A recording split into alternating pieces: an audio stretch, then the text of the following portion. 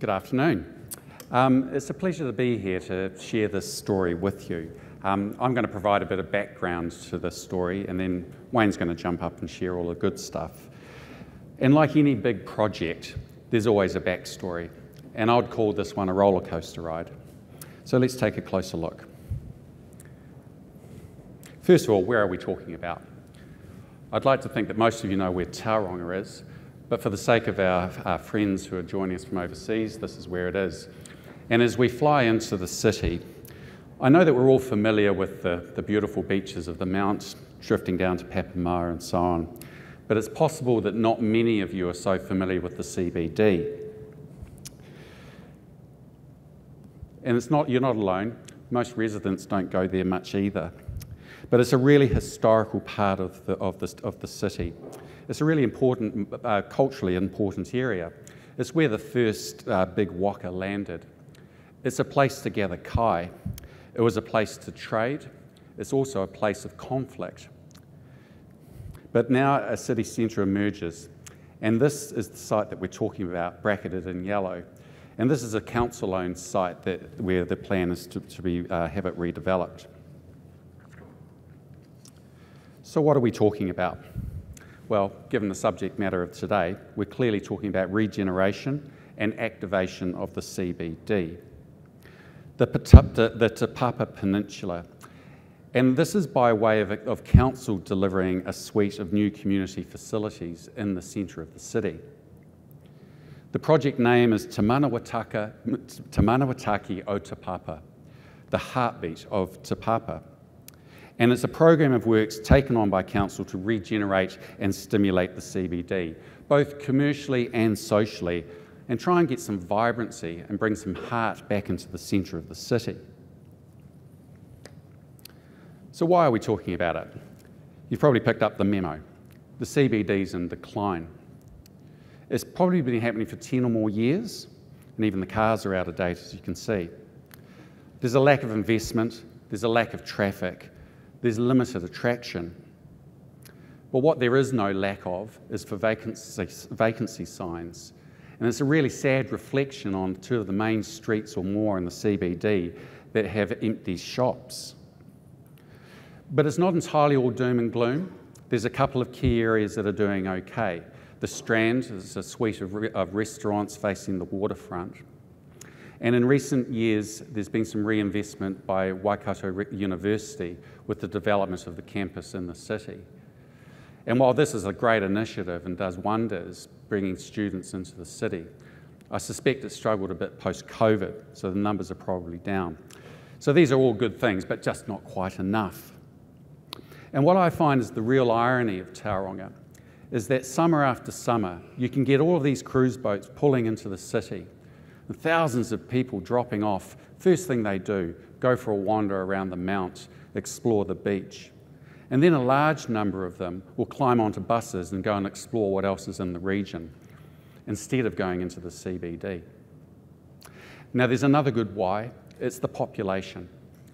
It's the fastest growing region in the country, and it has been for some time. I think it's now the fifth biggest city in, in New Zealand. So what's needed is something to stimulate some investment and get, it, get a city, um, give the city some status. It's hoped that if council can take the first step, that this would stimulate more private investment and hopefully um, trigger that regeneration that we've been talking about. But the brutal fact is that that responsibility falls on council. So how do you do it? I mean, obviously, council and the, the, business community aren't immune to the fact that something has to be done, but you know, the initiatives are pretty lightweight street enhancements, maybe bespoke projects. And I'd quickly note too, though, that the civic, that the feedback from the, from the local community has been invariably positive. Whenever council's engaged with the wider community, it's a positive endorsement to actually get something done, spend some money. But the frank reality has been that there is no clear plan and there is no money. But that all changed. The black mould of 2014. It was discovered in the civic administration buildings, and staff um, were immediately um, evacuated and sent to the fringe of the city. uh, except for a few key staff, including elected members. Um, but the mould never lived up to its reputation, and the elected members remained there unaffected until 2020. But it's a really important moment in our program because what it did do is it said we have to have a plan. And so Council commissioned Warren and Mahoney and Land Lab, and they generated a really cracking piece of work actually. And instead of just turning up and depositing, depositing a civic administration building on this beautiful site, they really tested the assumptions. And they thought but broadly, more broadly about what community facilities should be in the heart of the city. It was about this time that TwentyTwo got introduced, and we uh, just had the small task of trying to figure out how to make this all happen. There's a lot to consider, right? There's the fiscal challenges, there's the public consultation, there's iwi consultation, and then you've got to work through the mechanics of how do you actually deliver new buildings from a resource perspective, you know, the local building community and so on. So we very quickly came to a few conclusions. And the number one piece of advice was, council, please don't do this on your own. You have to go to market. You really need to find a development partner. A development partner's got the potential to give you a wider lens on what's possible, and they bring expertise, and there's less chance of a screw up. We also explored alternate funding possibilities from PPPs through the government support. It culminated with an expression of interest that went out into the market in 2017. And it's a really well structured document, if I don't mind saying so. And it was um, warmly received, much, greatly exceeded our expectations. Really high quality responses from all around the country and internationally.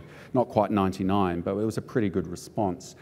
And at the end of a very robust evaluation, Willis Bonds was successful. And that relationship was consummated in 2018 with a partnering agreement. And it's worth reflecting on this agreement just for a moment because many of you will have seen sort of wishy-washy partnering principles in various agreements. Uh, but this bad boy had a lot more, a lot better features. A robust design and feasibility process, values-based by local principles, off-ramps for the parties, transparent pricing. But then we hit some challenges. Because in theory, we should have started in 2019. But unfortunately, political disruption and dysfunction got in the way. We found at the time the elected members were just a bit too cynical about the whole process. And I think it was because they just had so much going on in that vicinity, within the whole region. There's lots of hidden agenda, and my, my personal view is that it was just too significant a decision for them to process. Incredibly frustrating, public support strong, the need being so great. And then we found other problems, title issues, Public Works Act, Reserves Act. But probably most important, a really unresolved issue with local iwi. I mean, the site was of real significance to iwi. And that story hadn't been heard, let alone resolved. So everything stops for about 18 months. And while we're all pulling our hair out, we just have to acknowledge the patience shown by Willis Bond at this point who could have easily walked away. But then the heavens opened. The miracle happened. 2021, the Minister of Local Government stepped in and the elected members were removed. It's an absolute bolt from the blue and a game changer. And this is a huge moment in the context of the Te Manawataki project, because clearly we've been stalled. Four independent commissioners are appointed, chaired by Anne Tolley. And believe me, they had a very long list of priorities they had to sort out in the region, but the CBD was very near the top. Would also note that the Commission coupled seamlessly with a very strong CEO in Marty Grenfell. He's a highly motivated guy and he's got this great ability to unblock the usual barriers found within councils. And he could see this was a massive opportunity for change. But just circling back to the Commission for a moment, when I first met with them, the first thing they said, the city's dead, what are we doing about it? And instead of just accepting all of the work that had been done for the years beforehand, they took a really forensic look at all of it, including the relationship with Willis Bond. And even despite all of that testing, determined It was absolutely the right thing to do. Uh, supported it wholeheartedly, and they left us with one very clear instruction you better get cracking. So that's what happened. Tauranga Council's team, project team, grew from two, and when I was in the office the other day, there was, it was up to 30, and that doesn't include Willis Bond's team. So, what are our learnings? Number one, top of the list for me, develop an ambitious master plan. These things can always be scaled back, but if you don't jump in and explore all of the possible um, community functions, building functions, you, are just doing the process injustice and you're not serving justice to the site and its history.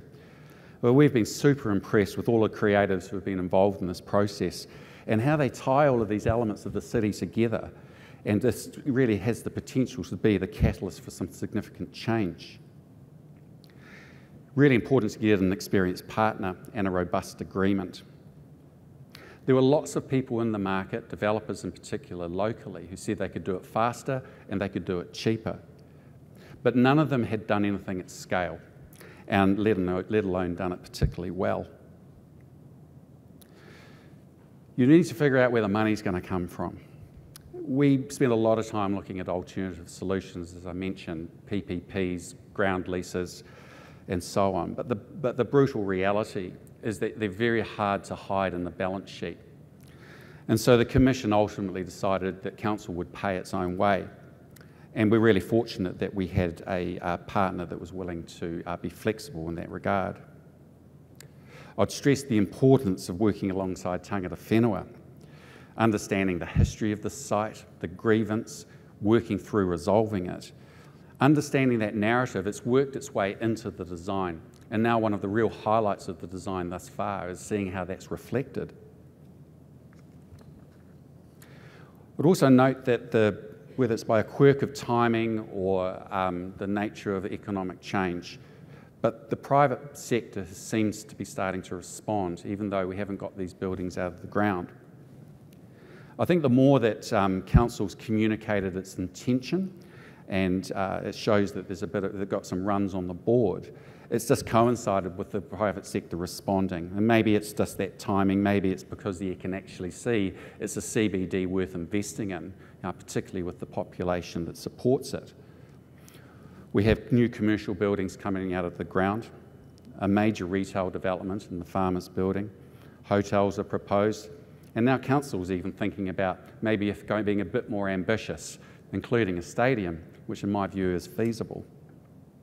They're talking about an aquatic centre, and we're certainly talking about a hotel and conference centre, again on a council controlled piece of land. But for me, one of the best decisions that they made following the black mould is they took the civic administration building and took it off Te Manawataki. Let Te Manawataki be about the community and its facilities. Let the civic administration building go further down the road, about 300 metres. Another very good Warren and Mahoney building with great sustainability values, delivered by Willis Bond, traditional development, tenant landlord relationship. But the most important thing is a thousand people coming to one spot, and the activation that they can create will be significant. My final point really is that there's no substitute for, for political will. And I'm not going to stand here and sort of comment on the problems of local government in New Zealand or how the previous council couldn't get out of first gear. But what I will say is that this commission has acted with great integrity and real respect for the process of local government. Every decision I've seen them process, they've dealt with it in a really robust way. But the point of difference is that every time that decision is made, it's made unanimously, it's made with clear direction. And in the case of uh, Te Manawataki, they share the vision and they want to be part of it. It's also an opportunity, they've also prioritised resolving the relationship with iwi. They've created a really unique situation where the, the civic site is now in a co-ownership arrangement. And that's done um, an awful lot of good to build trust and inclusiveness. And it's also an opportunity to shout out to the good folk at Tauranga City Council, past and present, who have worked on this project for a number of years. We've laughed and we've cried, but we've ultimately been validated. So, as at a couple of weeks ago, uh, a council controlled organisation has been established, a CCO, uh, with four independent board members who bring enormous experience to the table, just to add another layer of great governance and, and um, surety over the process. And as the newly appointed chair recently said, the facilities and activities planned for the civic precinct will draw people from near and far, helping add vibrancy and breathe life into the civic centre. And now it's just up to Wayne to deliver it.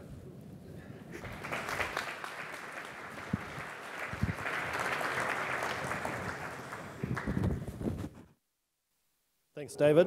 Um, look, I've got 15 minutes to uh, try and not bore you and rush through the master plan as it currently sits. This is a very fluid um, state. We're currently at a stage of detailed design on a variety of buildings, um, but I can talk you through um, the design intent and the um, and where we're at in the process. So, um, if my slides can magically appear, that would be great.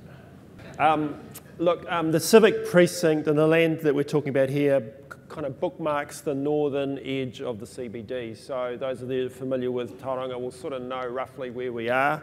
Um, it's in the kind of the heart of the Te Papa land there, which no one seems to voluntarily want to go to unless they're forced to go there at the moment. So it's it's a bit of a, an area devoid of attraction and um, kind of um, you know, interesting places to be. This is an aerial view of the site. Um, after this was um, photo was taken, um, the building immediately underneath the site A description there is the old library building that has been demolished. Um, and the, the land that's the subject of this presentation is what is described as Site A in Masonic Park and leading down to the waterfront.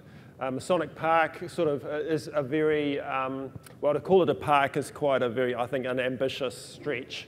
It is um, a car park with some public toilets uh, that various people hang around that you probably wouldn't want to frequent with during the day um, and you know, blocking you off from the waterfront. So this is sort of the inheritance. This is what we've got, demolished buildings, car parks, and a pretty forlorn uh, landscape. Um, but what is um, what else you can't really appreciate from the, um, the photograph here is the, the challenge of the typology is that there's a 13 metre fall from Durham Street to the water's edge. So what we're trying to do here, what the brief is to create a gathering place, a place that will bring people and, and keep people, and uh, locate a series of buildings which speak to each, each other uh, across a, a, fall of 13 metres, and in particular across side, A, immediately falls about 10 metres. And that's a very significant design challenge that was put in front of the team to try and reconcile all of those uses and needs uh, across a typology like that. Um, I mean, it's interesting to note there just how much of the area is given over to car parking in its current state. And, you know, in car parking, say what you like, is a dead space and a kind of a, a, not a public use of land. Um, so while the brief is to deliver a series of buildings, the starting point for this whole design exercise was to talk about what is going to go on in the building. So what we wanted to do was focus on activities, and then the buildings would come out of that analysis. So these are just uh, a selection of the kinds of things that we're trying to promote in this, um, in this master plan. So things like hosting, welcoming, educating, shaping, nurturing, discovering, learning, entertaining, eating. You know, these are the, these are the activities we want to encourage. Alongside those, we had a brief from Council about a series of buildings that were needed in the CBD. And they were a library, a central library to replace the one that had been demolished, a museum, which doesn't exist at the moment. There is no Tauranga Museum at the moment, which is a pretty um, stark reality around an area with enormous cultural history um, in it. Um, a, a, visitor information centre um, uh, a performance venue, a convention centre or conference venue, and an exhibition centre. So these were the kind of the requirements about how do we accommodate these um, within this space. Um, what became very important to the design team early on is the recognition of the power of, of water, both physically, eh, literally, and also metaphorically. So the site, you'll remember, leads to the waterfront, and naturally the water course historically has seen the fall um, lead to water going from the high point to the low point on the site. Historically, Waka would pull up on the waterfront here um, and um, local Maori would bring um, uh, fish and other trade items onto this land and trade here with other tribes. It was also a place of gathering, a social gathering for local iwi, and learning and education and nurturing. So it was really important for the design team to embrace those historic cultural uses and incorporate them into our master plan. Um, also, there's an adjacent street next to our site called Spring Street, and that also speaks to a, natural, a, a number of natural um, springs and uh, water courses that nurtured this area and enabled it to be a productive site historically. So we saw this constant theme of water, and it's not that um, great to promote that in Auckland in 2023, but believe me, water can be a good thing uh, from the heavens occasionally. So we've embraced this concept of water and all of its sort of um, metaphorical and literal um, messaging in the design. What that leads you to is a design expression which is quite fluid in its delivery, um, uh, curved edges, um, buildings which are quite sinuous on the landscape, buildings that have permeability. So in the same way that water will find a path through canyons, through creeks and through the beach, we wanted to create buildings that were not hard, fixed, um, uh, sort of impervious um, structures on the landscape, but that allowed people to come and go through them. So you'll see, hopefully, in the designs, a really strong representation of, of that water influence. The other thing, too, that that leads you to um, in a design sense is the use of natural materials, uh, natural colours, um, and you know, very much a, a, um, a soft um, representation um, in the buildings in, in the way they're expressed. This is the master plan, and we'll have some more illustrative renders coming up shortly. But there's a series of buildings here, and I'll go back to the use of description of buildings, remembering that it's what goes on inside the buildings, which we think is the most important thing. But what was um, really significant for the design team was it's okay about creating a series of destinations. At the moment, the CBD is a very lonely place to visit. In fact, you don't visit there unless you have to go there. Um, one of the stark um, bits of data that was put on the table early on in this process is pre-COVID, um, there are 80 cruise ships a year landing at the port of Tauranga, 200,000 visitors a year to the port, hop on buses, and not one single bus goes to the CBD.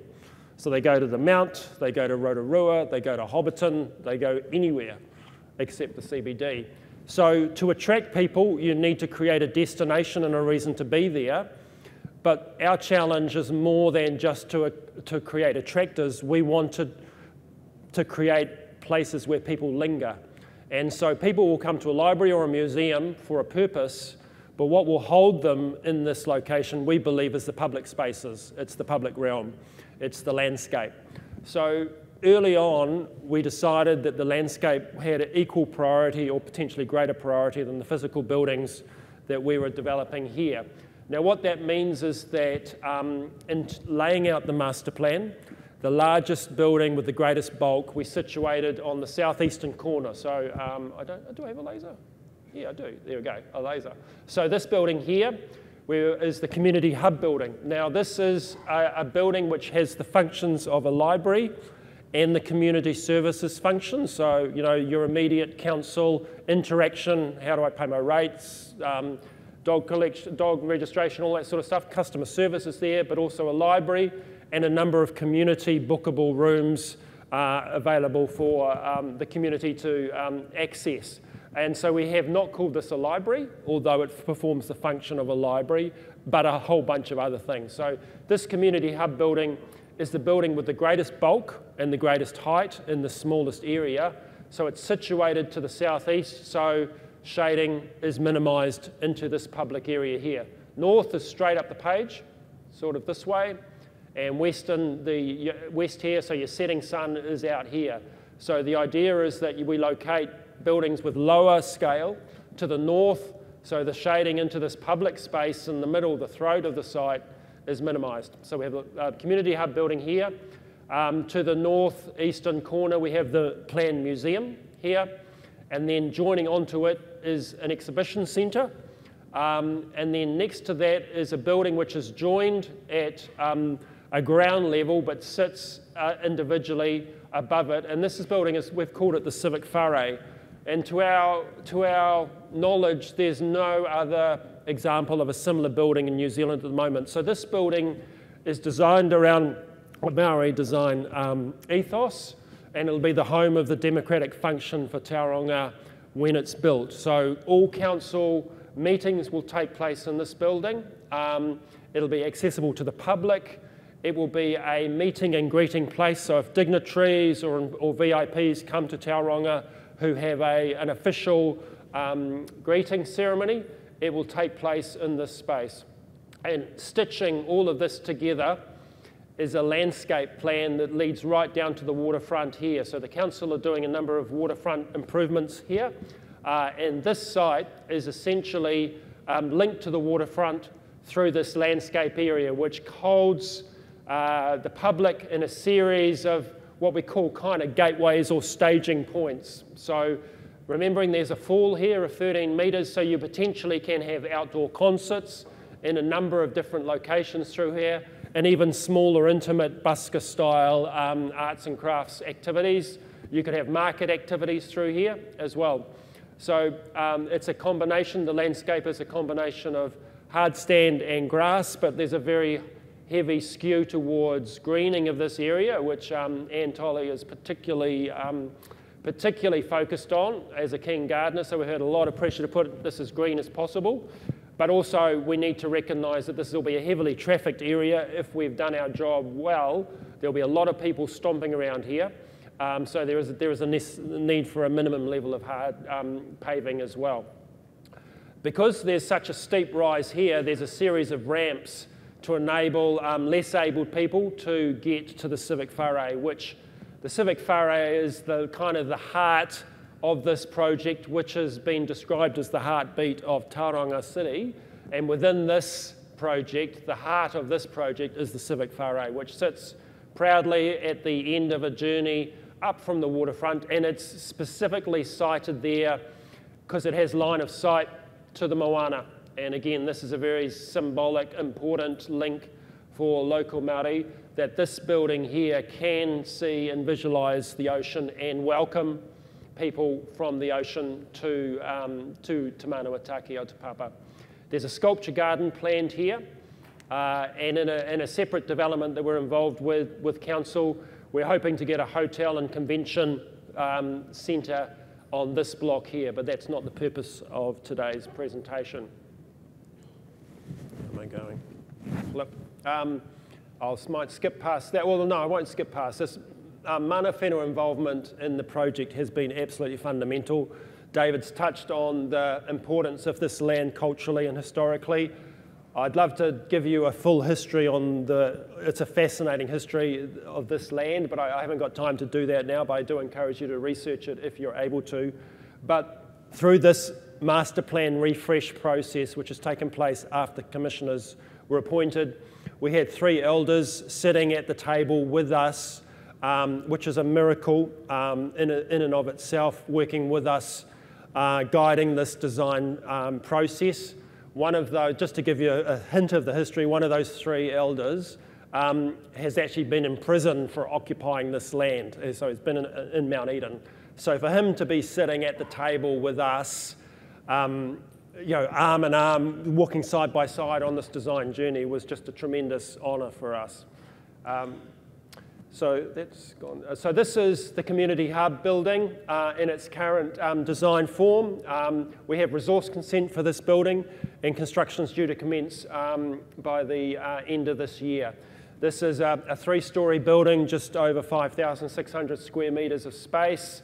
Um, the exterior facade. Uh, this is a Studio Pacific designed building, Studio Pacific architecture.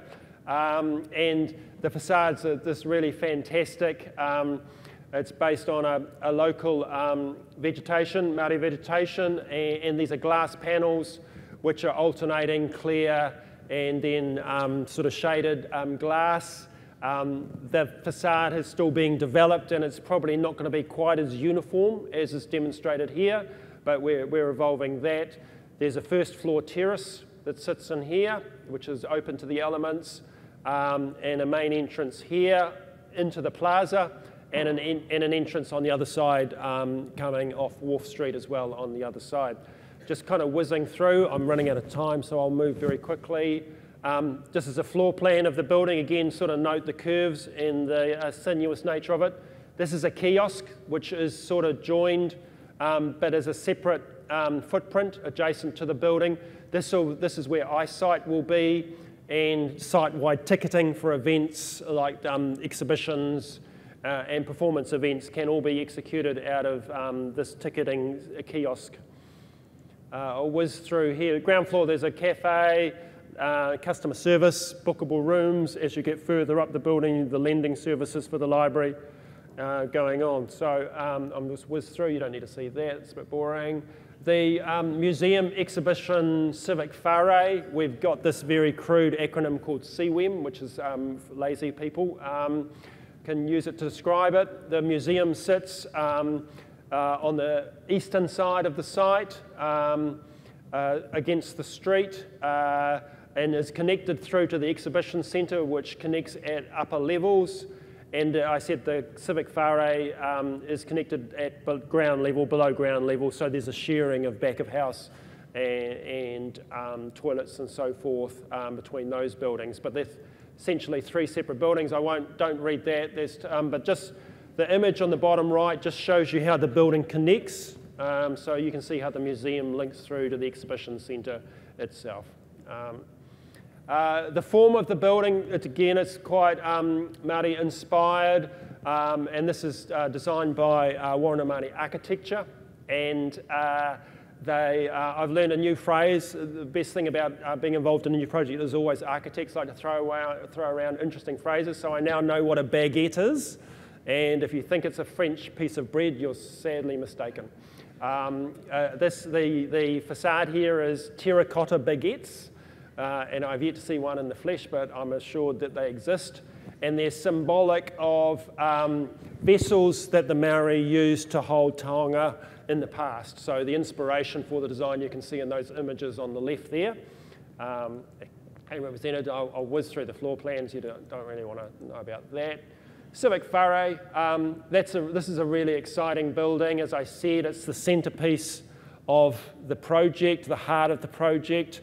It's only barely 600 square meters in size, uh, but a really bold design. Um, and you know, the, the, public face of democracy for Tauranga. So this will be where all council decisions are debated in the future um, and accessible to the public and kind of VIP greetings. So uh, yeah, it's a really beautiful, I think, uh, inspired design. Wood on the outside. I should say that the library is a, a wooden building, um, so that'll be a six-star green building. I haven't really got time to dwell on sustainability. And to the degree that we can, we'll, we'll use wood throughout the exhibition centre and the museum as well, although some of the spans are quite long and we're just working through with the engineers whether or not steel has to be used um, at all. Um, the interesting thing about the Civic, um, this, the Civic Whare building is we have these formats which it can operate in. So it's um, uh, what we see here is kind of the council format. So, you know, you've got the elected members, you've got the public and the media, gathered around in a, in a meeting format. You've got what they call a conference format or a meeting format, so you can have a presentation here to a group of 160 people. This is the more traditional um, Maori greeting format where you sit outside and you have oratory here in the ātea. Um, and then we have kind of breakout formats here. So this building, small building, can wear a number of different cloaks and operate in a number of different ways. So, uh, you know, we're very excited about the uses that it can be put to. The landscape, again, just sort of briefly touching on the landscape. Again, this is one of the most vital parts of the master plan is just how this stitches together. This is what will cause people to stay in the area uh, and linger and kind of create a place to be. So rather than having buildings where people just come and go, we want people to hang around um, and just experience the best of Tauranga, which we think is probably the climate and the, and the sea. So that's why we've descaled the buildings and promoted the landscape. Um, it's a bit more on the landscape. Let's skip past that. Masonic Park, this is what I said was a public toilet and a car park today, um, and you know, very grim space. This is a series of, of staging points on the way down to the waterfront with, with shading here, uh, and some, there'll be some water features in there as well. So a really exciting kind of attractor um, for the public. And this is our vision for it. This is one of the renders um, on how we hope it'll be um, used. You'll see, and I haven't had the time really to dwell on it, the roads are being tuned here. If you'd noticed on the photo of the existing site, you would have probably seen the most prominent thing other than car parks was buses. And so the idea is that this is a detuned space where pedestrians uh, and non-vehicle traffic um, are discouraged and pedestrians are encouraged. So these will still be a legal road. There'll be no buses coming through here. Buses will be circulated around the exterior of the site. It'll still be a legal road, but it'll read not dissimilar to Fort Street or Elliott Street, which is a, a pedestrian-friendly place where you, the, the cars will mingle with pedestrians in a safe way. So that's the vision, uh, and uh, we're really looking forward. Looking, we're breaking ground, planning to break ground before the end of this year, and it's probably a five to six year construction uh, process from woe to go. So hopefully one day I'll be here to show you photos of um, the finished product.